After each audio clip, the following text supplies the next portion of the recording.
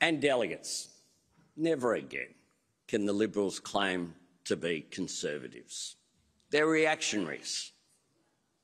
When they consistently neglected all of our national institutions. They're the National Art Gallery with one artwork, thanks to a fellow called Gough Whitlam, in there worth half a billion dollars with buckets collecting water from a leaky roof.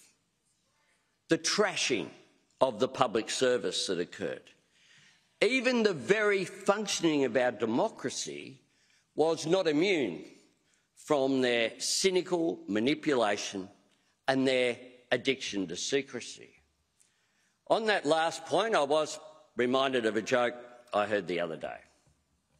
The Prime Minister, the Treasurer, the Health Minister, the Minister for Industry and the Minister for Home Affairs walk into a bar and the bartender says, just the usual, Scott?